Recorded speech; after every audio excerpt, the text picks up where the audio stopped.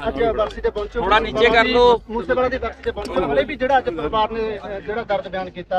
ਦੇਖੋ ਇੱਕ ਤਾਂ ਪਹਿਲਾਂ ਬਹੁਤ ਦੁੱਖ ਹੈ ਬੜਾ ਅਫਸੋਸ ਆ ਨਾ ਸਿਰਫ ਬਲਕੌਰ ਸਿੰਘ ਤੇ ਮਾਤਾ ਚਰਨ ਕੌਰ ਨੂੰ ਰੰਜ ਆ ਇਹ ਪੰਜਾਬ ਦੇ ਸਮੂਹ 3 ਕਰੋੜ ਲੋਕਾਂ ਦਾ ਅਪਮਾਨ ਹੋਇਆ ਪਿਛਲੇ 1 ਸਾਲ ਵਿੱਚ। 1 ਸਾਲ ਥੋੜਾ ਸਮਾਂ ਨਹੀਂ ਹੁੰਦਾ। ਅੱਜ ਵੀ ਉਹਨਾਂ ਦੇ ਮਾਪਿਓ ਕਰਲਾ ਰਹੇ ਨੇ।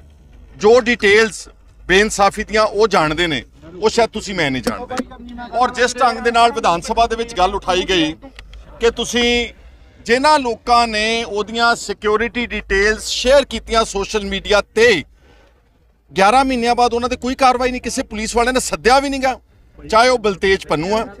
ਉਲਟਾ ਉਹਨੂੰ ਇਨਾਮ ਦੇ ਕੇ ਮੀਡੀਆ ਐਡਵਾਈਜ਼ਰ ਬਣਾਇਆ ਭਗਵੰਤ ਸਿੰਘ ਮਾਨ ਨੇ, ਚਾਹੇ ਉਹ ਕੋਈ ਆਯੂਸ਼ੀ ਲੜਕੀ ਹੈ ਚਾਹੇ ਭਗਵੰਤ ਸਿੰਘ ਮਾਨ ਆਪ, ਜਿਹਨੇ ਆਫੀਸ਼ੀਅਲ ਪੇਜ ਦੇ ਉੱਤੇ ਸਿਕਿਉਰਿਟੀ ਡਿਟੇਲਸ ਜਿਹੜੇ ਜਿਹੜੇ ਆਗੂਆਂ ਦੀ ਸਮੇਤ ਸਿੱਧੂ ਮੂਸੇਵਾਲੇ ਸ਼ੇਅਰ ਕੀਤੀ, ਉਹ ਬਹੁਤ ਵੱਡੀ ਅਵਗਿਆ ਸੀ। ਔਰ ਮੈਨੂੰ ਦੁੱਖ ਇਸ ਤੋਂ ਵੀ ਗਾਂ ਹੋਇਆ ਜਦੋਂ ਵਿਧਾਨ ਸਭਾ ਦੇ ਵਿੱਚ ਅਮਨ ਅਰੋੜੇ ਨੇ ਇਹਨੂੰ ਜਸਟੀਫਾਈ ਕੀਤਾ ਵਾ ਕਿ ਅਸੀਂ ਤਾਂ ਦੋ ਗਨਮੈਨ ਦਿੱਤੇ ਹੋਏ ਸੀ ਕਿ ਦੋ ਗਨਮੈਨ ਨਹੀਂ ਲੈ ਕੇ ਗਿਆ। ਭਗਵੰਤ ਸਿੰਘ ਮਾਨ ਹਜ਼ਾਰ ਗਨਮੈਨ ਲੈ ਕੇ ਜਾਵੇ, ਉਹਦੀ ਮਾਤਾ, ਉਹਦੀ ਭੈਣ, ਉਹਦੀ ਘਰ ਵਾਲੀ 2-200 250 ਗਨਮੈਨ ਚੱਕੀ ਫਿਰ, ਆ ਇਹਨਾਂ ਦੇ ਜਿਹੜੇ ਅਖੌਤੀ ਕਹਿੰਦੇ ਸੀ ਆ ਬੋਕਰ ਵਾਲੇ ਕਹਿੰਦੇ ਸੀ, ਆਮ ਆਦਮੀ ਆ। ਇਹ ਦਰਜਨਾ ਸੈਂਕੜੇ ਕਮਾਂਡੋ ਇਹਨਾਂ ਦੇ ਮਿਨਿਸਟਰਸ ਐਮਐਲਏ ਚੱਕੀ ਫਿਰਨ। ਤੇ ਸਿੱਧੂ ਮੂਸੇਵਾਲੇ ਨੂੰ ਕਹਿੰਦੇ, ਤੈਨੂੰ ਦੋ ਗਨਮੈਨ ਤਾਂ ਦਿੱਤੇ ਹੋਏ ਸੀ। ਇਹਨੂੰ ਕਹਿੰਦੇ ਨੇ ਕਿਸੇ ਦੇ ਜ਼ਖਮ ਦੇ ਉੱਤੇ ਲੂਣ ਛਿੜਕਣਾ। ਔਰ ਦੂਸਰਾ, ਤੁਸੀਂ ਮੈਨੂੰ ਦੱਸੋ ਕਿ ਤੁਸੀਂ ਆਰਟੀਆਈ ਪਾ ਕੇ ਦੇਖੋ। ਕਦੀ ਤੁਹਾਨੂੰ ਸਿਕਿਉਰਿਟੀ ਦੀ ਡਿਟੇਲ ਦਿੰਦੀ ਕੋਈ ਸਰਕਾਰ? ਮੈਂ ਬਹੁਤ ਵਾਰੀ ਪਾ ਕੇ ਦੇਖਿਆ ਕਿ ਪੂਰਾ ਵੇਰਵਾ ਦਿਓ ਸਾਨੂੰ ਸਿਕਿਉਰਿਟੀ ਡਿਟੇਲਸ ਮੰਤਰੀਆਂ ਦੀ, ਭਗਵੰਤ ਮਾਨ ਦੀ। ਪੁਰਾਣੀਆਂ ਸਰਕਾਰਾਂ ਚੋਂ ਕਹਿੰਦੇ ਜੀ we cannot share security details because of security reasons because of safety ਜਿਹੜੀ ਚੀਜ਼ ਤੁਹਾਨੂੰ ਆਰਟੀਆਈ 'ਚ ਨਹੀਂ ਮਿਲ ਸਕਦੀ, ਤੁਸੀਂ ਚੱਕ ਕੇ ਫੇਸਬੁੱਕਾਂ ਤੇ ਟਵਿੱਟਰ ਤੇ ਪਾ ਰਹੇ ਹੋ। ਸੋ ਸਭ ਤੋਂ ਪਹਿਲੀ ਵੱਡੀ ਗੱਲ ਹੈ ਕਿ ਤੁਰੰਤ, ਅੱਜ ਤੁਸੀਂ ਦੇਖ ਲਿਆ ਹੈ ਪੰਜਾਬ ਦੇ ਲੋਕਾਂ ਦੇ ਜਜ਼ਬਾਤ, ਜਿਨ੍ਹਾਂ ਲੋਕਾਂ ਨੇ ਸਿਕਿਉਰਿਟੀ ਡਿਟੇਲਸ ਸ਼ੇਅਰ ਕੀਤੀਆਂ ਆਪਣੇ ਪੇਜਾਂ ਤੇ, ਉਹ ਸਾਰਿਆਂ ਦੇ ਖਿਲਾਫ ਕਾਰਵਾਈ ਤੇ ਪਰਚੇ ਵਿੱਚ ਨਾਮ ਆਉਣਾ ਚਾਹੀਦਾ। ਦੂਸਰਾ ਲਾਰੈਂਸ ਬਿਸ਼ਨੋਈ ਪੰਜਾਬ। ਜਿਹੜਾ ਜਿਹੜਾ ਭਗਵੰਤ ਸਿੰਘ ਮਾਨ ਕਹਿੰਦਾ ਕਿ ਮੈਨੂੰ ਕੱਲੀ ਕੱਲੀ ਗੱਲ ਦਾ ਪੰਜਾਬ ਦੇ ਵਿੱਚ ਪਤਾ, ਉਹ ਸ਼ਰੇਆਮ ਜੇਲ੍ਹਾਂ 'ਚ ਬੈਠਾ ਇੰਟਰਵਿਊ ਦੇ ਰਿਹਾ ਵਾ। ਠੀਕ ਹੈ ਡੀਜੀਪੀ ਸਾਹਿਬ ਕਹਿੰਦੇ, ਉਹ ਸਾਡੀ ਬਠਿੰਡੇ ਦੀ ਜੇਲ੍ਹ ਨਹੀਂ, ਸਾਡੀ ਜੇਲ੍ਹ ਨਹੀਂ। ਫਿਰ ਦੱਸਣਾ ਕਿੱਥੇ ਆ? ਕਸਟਡੀ ਕਿਹਦੀ ਚ ਆ ਉਹ? ਉਹ ਅਮਰੀਕਨ ਪੁਲਿਸ ਦੀ ਕਸਟਡੀ ਤਾਂ ਹੈ ਨਹੀਂਗਾ ਕੈਨੇਡੀਅਨ ਪੁਲਿਸ ਦੀ ਕਸਟਡੀ ਚ ਨਹੀਂਗਾ ਉਹ ਕਸਟਡੀ ਪੰਜਾਬ ਦੀ ਪੁਲਿਸ ਵਿੱਚ ਆ। ਉਹ ਕੀ ਸੀਆਈਏ ਦੇ ਵਿੱਚ, ਜਦੋਂ ਉੱਥੋਂ ਰੱਖਿਆ ਗਿਆ ਕਿ ਉੱਥੋਂ ਦੀ ਇੰਟਰਵਿਊ ਰਿਕਾਰਡਡ ਹੈ ਜੇ ਜੇਲ੍ਹ ਵਿੱਚ ਆ ਤਾਂ ਕਿਹੜੀ ਜੇਲ੍ਹ ਵਿੱਚ ਆ? ਅਗਰ ਰਾਜਸਥਾਨ ਦੀ ਜੇਲ੍ਹ ਵਿੱਚ ਤਾਂ ਫਿਰ ਪੰਜਾਬ ਪੁਲਿਸ ਨੂੰ ਪਤਾ ਹੋਣਾ ਚਾਹੀਦਾ ਵਾ।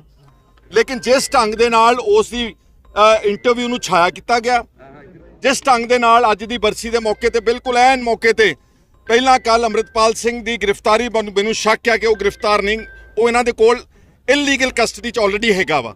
I am afraid that he may be also killed in a fake encounter they can go to any extent ਔਰ ਇਹ ਜਿਹੜਾ ਕੱਲ ਉਹਦੀ ਇਹ ਸਾਰੀ ਐਪੀਸੋਡ ਸਾਰਾ ਇੰਟਰਨੈਟ ਬੰਦ। ਅਸੀਂ ਆਜ਼ਾਦ ਭਾਰਤ ਚ ਰਹਿੰਦੇ ਆ ਕਿ ਕਿਸੇ ਗੁਲਾਮ ਦੇਸ਼ ਵਿੱਚ ਰਹਿੰਦੇ ਆ people do not have they they are not allowed to even you know access to uh, what is going on in the world 24 ਘੰਟੇ ਅੱਜ ਸਾਡਾ ਇੰਟਰਨੈਟ ਬੰਦ ਹੈਗਾ ਤਾਂ ਕਿ ਭੋਗ ਤੇ ਜਨਤਾ ਨਾਲ ਇਕੱਠੀ ਹੋ ਜੇ। ਤੇ ਲੋਕਾਂ ਨੇ ਤੁਸੀਂ ਦੇਖ ਲਿਆ ਕਿ ਜਦੋਂ ਤੁਸੀਂ ਕਿਸੇ ਗੱਲ ਨੂੰ ਪੰਜਾਬ ਨੂੰ ਦਬਾਉਨੇ ਆ ਉਹ ਉੱਡੀ ਹੀ ਤੇਜ਼ੀ ਦੇ ਨਾਲ ਉੱਭਰਦਾ।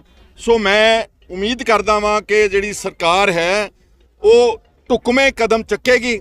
ਸਿੱਧੂ ਮੂਸੇਵਾਲੇ ਦੇ ਕਾਤਲਾਂ ਜਿਹੜੇ ਵੀ ਹਨ, ਉਹ ਜਿਹੜੇ ਉਹਨਾਂ ਦੇ ਮਾਪਿਓ, ਜਿਹੜੇ ਉਹਦੇ ਪੇਰੈਂਟਸ ਅੱਛੀ ਤਰ੍ਹਾਂ ਜਾਣਦੇ, ਕਿਹਨਾਂ ਕਿਹਨਾਂ ਦੇ ਨਾਲ ਦੁਸ਼ਮਣੀਆਂ ਸੀਗੀਆਂ, ਜਿਨ੍ਹਾਂ ਨੇ ਉਹਨਾਂ ਦੀ ਸਿਕਿਉਰਿਟੀ ਡਿਟੇਲ ਸ਼ੇਅਰ ਕੀਤੀਆਂ। ਔਰ ਜੇਲ੍ਹ ਵਿੱਚ ਆਦਮੀ ਇੱਕ ਗੈਂਗਸਟਰ ਸ਼ਰੇਆਮ ਕਹਿ ਰਿਹਾ, ਮੈਂ ਸਲਮਾਨ ਖਾਨ ਨੂੰ ਠੋਕਣਾ ਵਾ, ਮਾਰਨਾ ਵਾ। ਅੱਜ ਤੱਕ ਕੋਈ ਕਾਰਵਾਈ ਨਹੀਂ, ਇੱਕ ਹਫਤਾ ਹੋ ਗਿਆ, ਦੋ ਇੰਟਰਵਿਊਜ਼ ਛਾਇਆ ਹੋ ਗਈਆਂ no action at all what does this tell this tells ਕੇ ਪੰਜਾਬ ਦੇ ਲੋਕਾਂ ਵਾਸਤੇ ਦੋਰੇ ਕਾਨੂੰਨ ਨੇ। ਸਿੱਖਾਂ ਲਈ ਅਲੱਗਾ ਕਾਨੂੰਨ ਹੈ।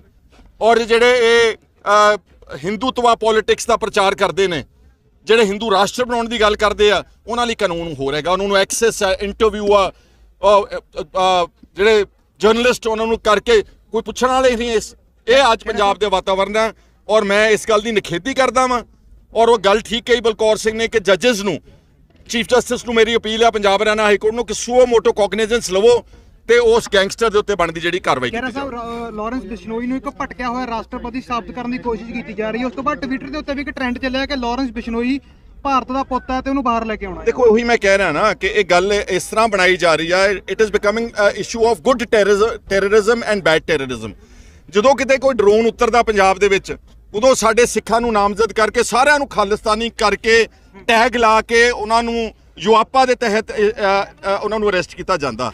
ਲਾਰੈਂਸ ਬਿਸ਼ਨੋਈ ਆਰ ਗਿਆ enjoying VIP facilities while in jail Maur bomb blast ਕੀ ਤੁਹਾਨੂੰ ਦਿਖਾਉਂਦਾ? ਉਹ- that was a terror act ਜਿਹੜਾ ਅੰਮ੍ਰਿਤਪਾਲ ਹੈ ਉਹ ਟੈਰਰ ਐਕਟ ਨਹੀਂਗਾ by the way let me tell you ਉਹ ਸਿਰਫ ਇੱਕ ਪ੍ਰਚਾਰ ਕਰ ਰਿਹਾ ਵਾ। ਠੀਕ ਹੈ ਉਸਨੇ ਜਿਹੜਾ ਅਜਨਾਲੇ ਵਿੱਚ ਇਨਸੀਡੈਂਟ ਹੋਇਆ।